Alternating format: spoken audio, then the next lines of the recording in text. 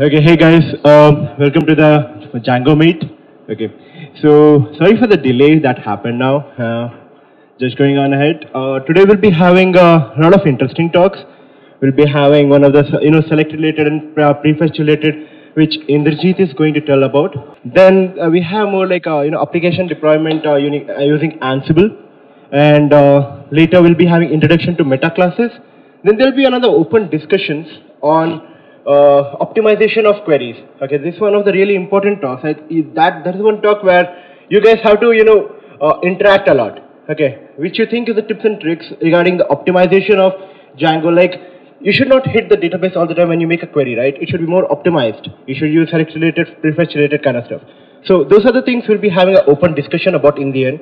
So uh, starting with Indrajit here, who will be talking about demystifying selected related, select related and prefetch related. So over to you.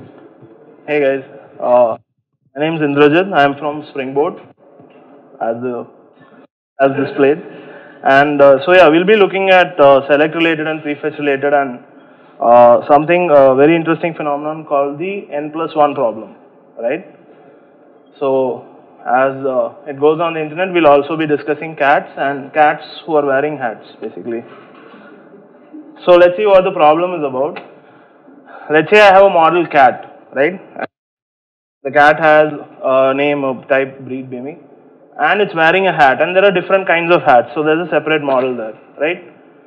So now I want to basically do something very simple. I want to print the cat type and the type of hat it's wearing. So I would basically do something along the lines of this if I were to write.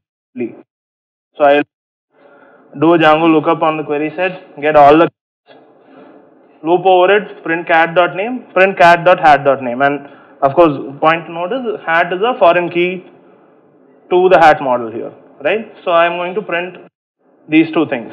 Fairly straightforward. It's not. So query right here is going to do the obvious thing. It's going to start cat. That's your database. That's the SQL that's going to execute.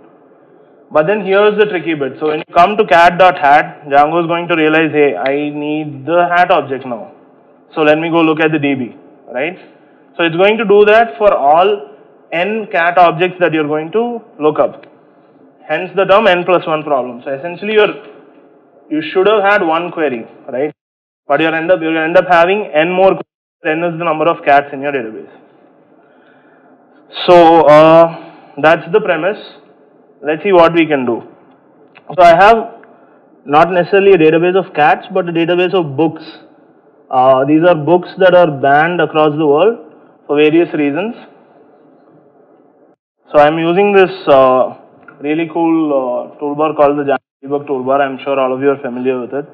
So that will help us look at the SQL queries that get executed when I'm rendering this page. And it's going to take a while because I have uh, basically around 4000 different books in DB and I'm basically, oh let me just show you the models first. So this is what I have. So this is our main model here. We have a list of banned books. Uh, this is pulled from Wikipedia. So you have the book name, genre which is a foreign key to the genre model up top. Uh, a list of authors, this is a many-to-many relationship. Uh, year of ban and the ban reason. Uh, so this is the book model. I'll just show you the author model. Is simple, just the name of the author, right? So I'm basically rendering this view.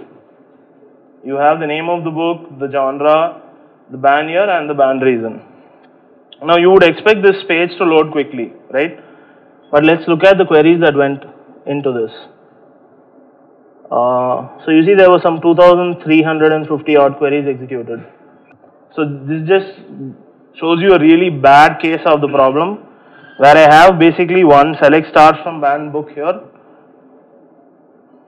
Okay. So I have one select star here and then for each each genre I encounter I do a database hit, right? So this is happening once for every book genre that I have to pull from DB. This is extremely wasteful but just for illustration it's done this way. Okay, so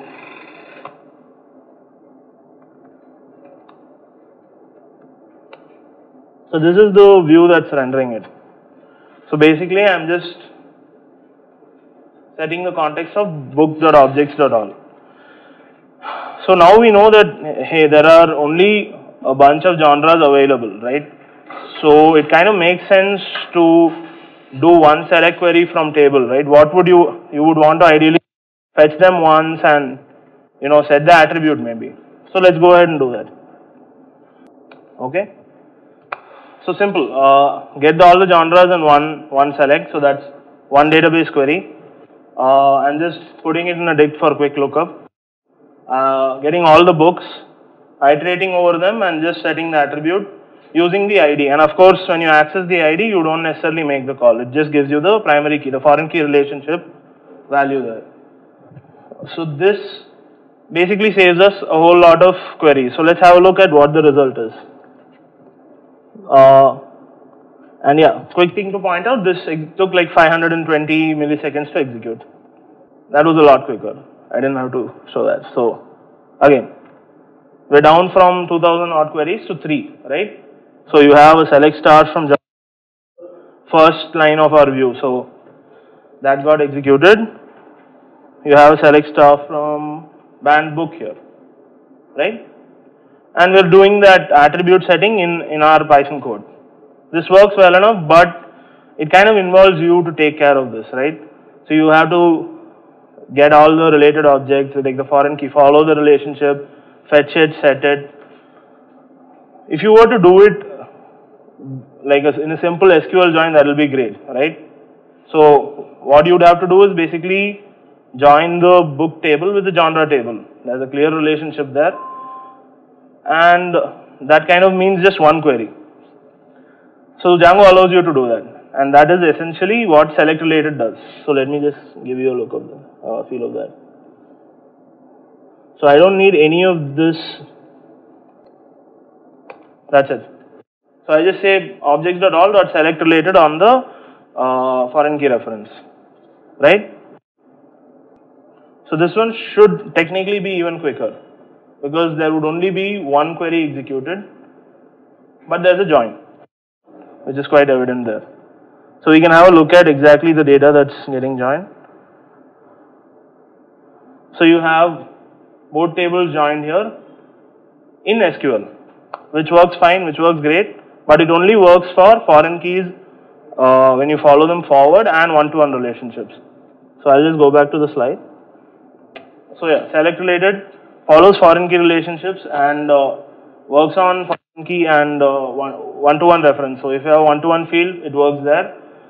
It results in a single query being executed. There is a downside to that. If you're, uh, so we'll discuss essentially it, it results in a single more complex query if you will, right? But then we have more complex models as well. So as we just saw,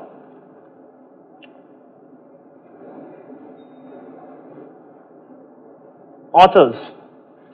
Authors is not a foreign key. Authors is many to many field, right?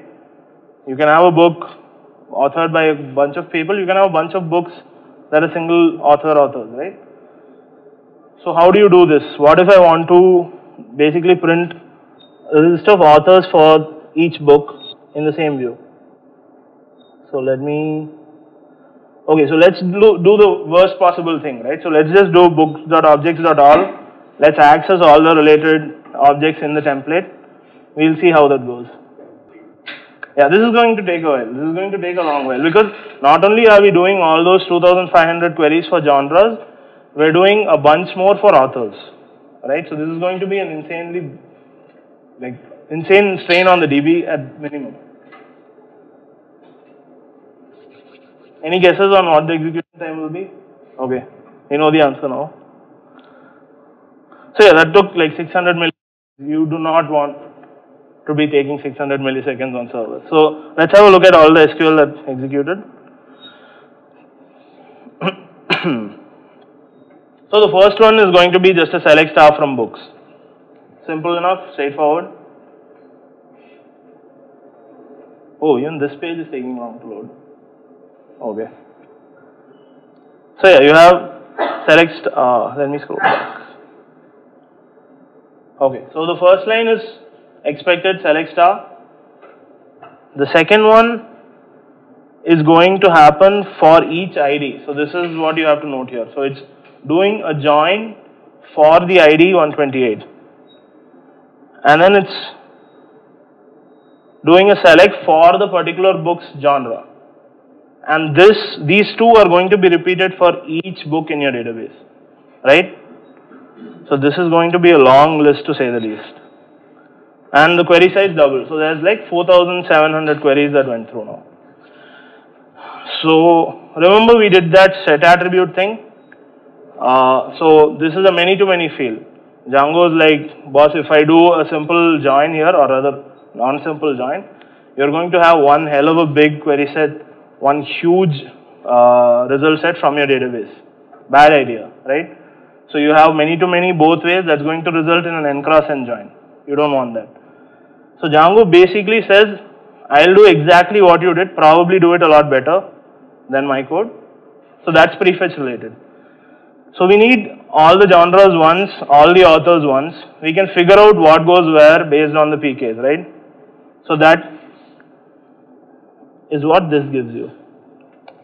And of course, I'm also doing a select related genre here. If I skip that part, it would do the first 2500 query hit yet again. So now this query is going to uh, basically do this. It will do a join with the genre table initially. So you'll have all the books and genres picked up in one SQL query. It will do a select star on authors. So it will pick up all the authors and then it will do a joining. Basically put these together in Python. So instead of this being done at an SQL level and you getting a huge result set, we are doing it at a Python level. So there's advantages to this as well. Uh, let's talk about that in a bit. So let's see how much this improves our uh, result response time. Okay, so fair amount, right? 22 milliseconds from 500 we were at, yeah, good improvement I could say. So yeah, so this does your typical join that we were expecting, joins the book with the authors.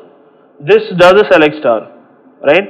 And of course it does it only for the IDs that are in the books that we are looking at, which makes sense. Why select all authors if only 10 of them are being used in the books that I have?